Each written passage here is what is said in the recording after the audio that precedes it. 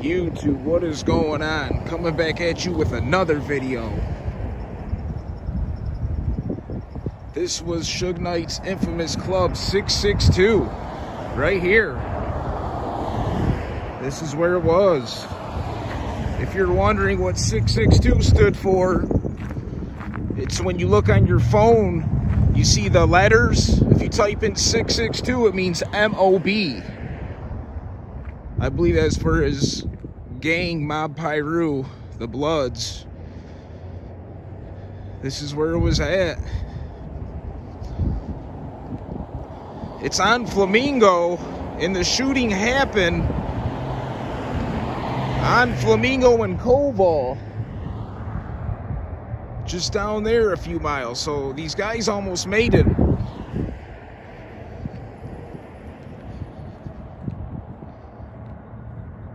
Some people don't know this, but Tupac actually did get to perform here.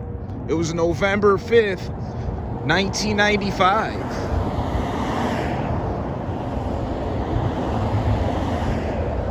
I believe he was here a few times.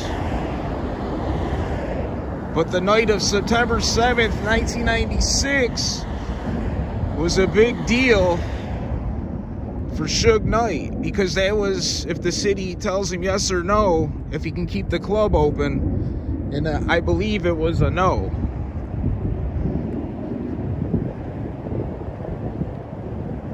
Just imagine Tupac walking through these doors.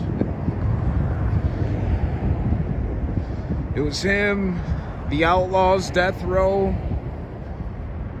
just having a good time. You know, he blew the roof off this joint when he performed. The energy he had. He was the best rapper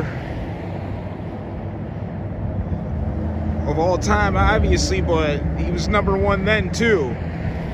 But this is it, YouTube. I'll match some pictures up.